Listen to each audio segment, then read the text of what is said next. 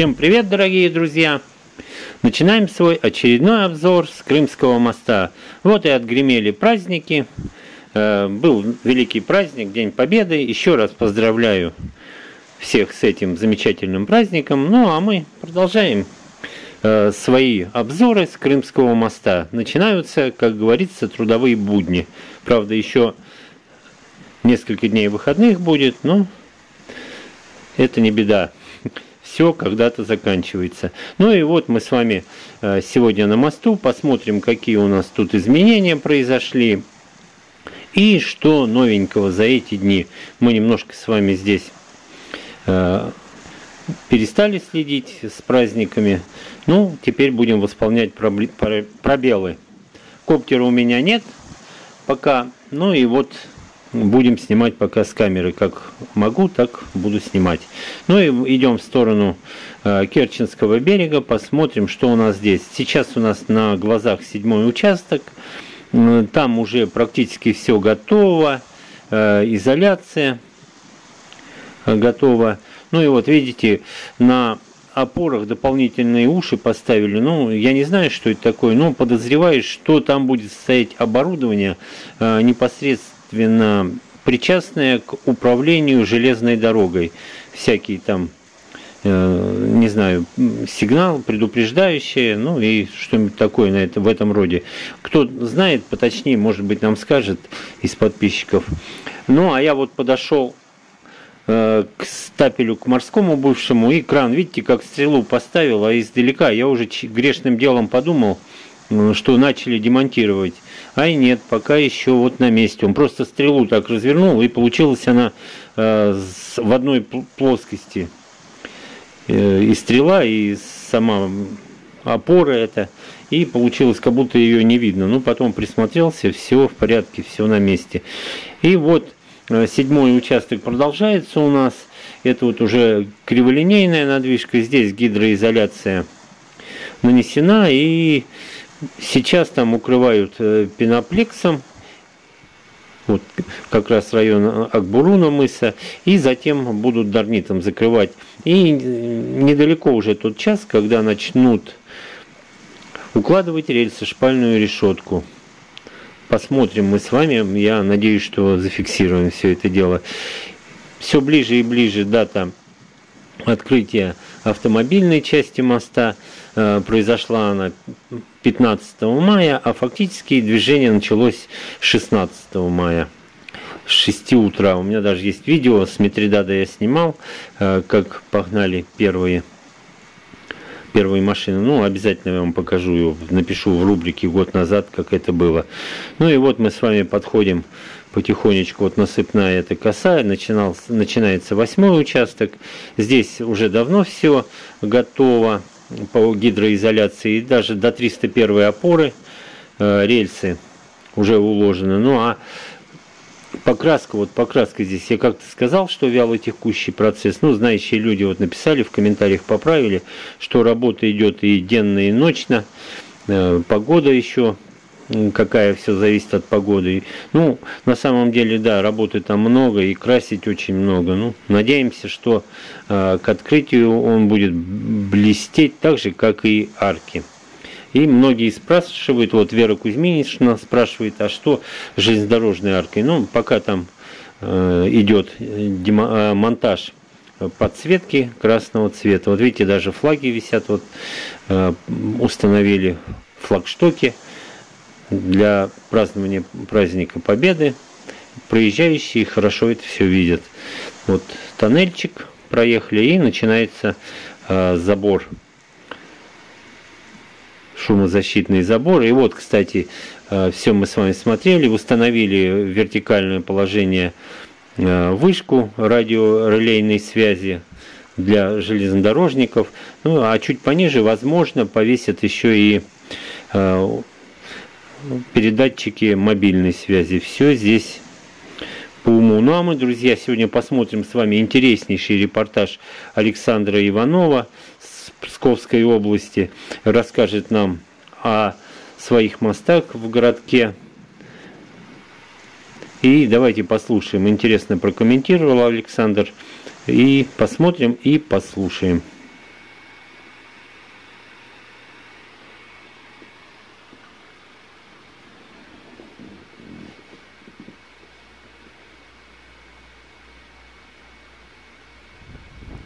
Здравствуйте, уважаемые поклонники Крымского моста. Здравствуйте, уважаемый Игорь. Меня зовут Александр Иванов.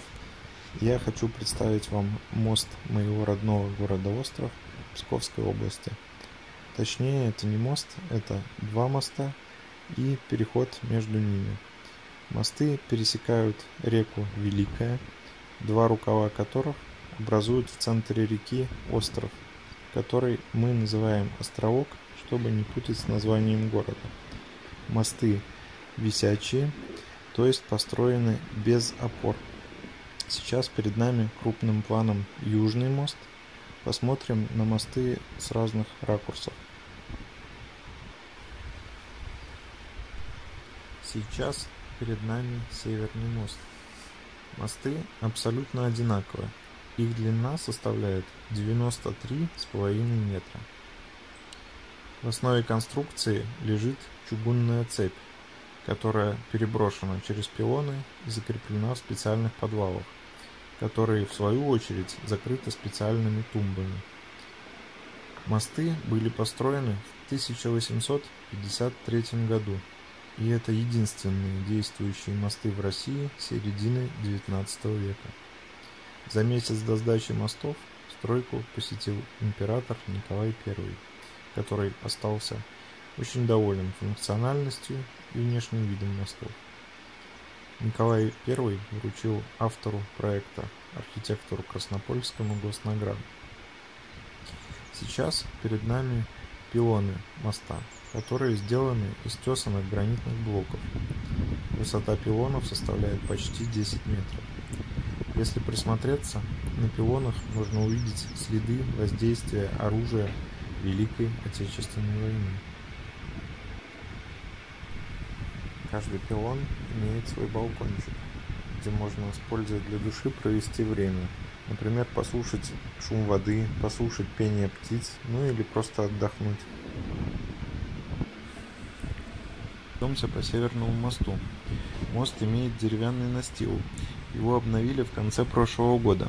На ремонт настила город сумел собрать 162 тысячи рублей. Месяц назад поступила новость, что правительство Российской Федерации выделит 100 миллионов рублей на реставрацию наших мостов, которые являются объектом культурного наследия. Мосты пешеходные. Движение легковых автомобилей допускается только по дальнему от нас южному мосту и только для живущих на островке или по служебной необходимости. Сквозное движение через мосты на автомобилях было прекращено еще в середине 80-х годов. Ширина мостов составляет 7 метров и не позволяет двум встречным автомобилям безопасно разъехаться. Автомобильный транспорт пустили в объезд вот по тому типовому советскому мосту. Наши мосты, как конструктор, построены из одинаковых металлоконструкций.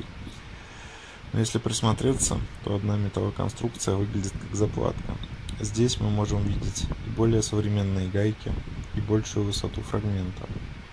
Э, дело в том, что данный Северный мост был подорван в 1944 году отступающими немецко-фашистскими войсками. Мост удалось спасти и восстановить в 1945 году. Здесь мы также можем видеть пробоины металлоконструкции времен Великой Отечественной войны. Будем надеяться, что Крымский мост будет служить так же долго, как наш Островский. Спасибо вам большое за внимание. Классный ролик, классные мосты прислал нам Александр. Ну и вы, друзья, не забывайте э, присылать свои мосты, мосты своего города. Спасибо большое Александру Иванову. Ну а мы перемещаемся опять к аркам и пойдем дальше теперь только в сторону Таманского берега. Посмотрим, что у нас здесь. Арки у нас шестой участок, там э, заканчивают нанесение гидроизоляции. 227 метров длина. И вот смотрим мы сейчас с вами на пятый участок. На пятом участке сейчас э, скоплено достаточно много сил, чтобы как можно быстрее закончить нанесение гидроизоляции, потому что уже практически на пятки наступает, э, наступают железнодорожники. Э, рядышком уже недалеко стоит путеукладчик. Таманское направление так вообще уже 214, ближе уже 215 даже опоре рельсошпальная решетка уложена и активно идет э, подсыпка щебня и подбивка и рихтовка его. путей железнодорожных. Ну и идет, собственно говоря, и крымское направление. Сейчас мы вот посмотрим с вами, что у нас здесь. Прошли мы с вами стапель на острове Тузла, прям на границе острова и воды фарватерного и вот смотрите, стоит путеукладчик с пустым, э, с пустым, с пустыми вагонами. Ну, это говорит о том, что он уже отработал и немножко отъехал. Ну, так вот, по прикидкам, где-то в районе, э, я вам уже показывал тогда на 202 опоре, а это где-то может быть уже 205, 206, может быть и 207 опоры, уже уложены рельсы, практически уже догнал и Таманское направление. Ну и я вот полагаю, что сейчас смысла нет его гонять на базу. Он закончил укладку, его немножко отогнали. Вот он, видите, две э, Две кассеты сюда влазят как раз 25-метровые, ну это порядка 10 или 12 звеньев. И вот он стоит, затем привезут очередные вагоны, он перетянет их на эти э, вагоны, на кассеты, э, звенья и будет работать дальше. Так что вот, друзья, застал я уже вечером э, без движения, ну, сами понимаете, праздники там, и не могу же сидеть все время возле моста и дежурить. Так что посмотрели, и вот э, почти уже близко. Ну, э, как будет коптер, обязательно мы сверху посмотрим остров Тузла. Как скоро сказать не могу, но будет. Ну, а я так вот, э, смотрите, вот как раз на Таманском берегу нашей емкости, так не стал, издалека вот они. И Таманский берег мы видим. Ну, а я заканчиваю свой очередной обзор, дорогие друзья. Еще раз вас с прошедшими праздниками. Не забываем подписываться на группу ВКонтакте и на канал в Ютубе. Всего вам хорошего и до новых встреч!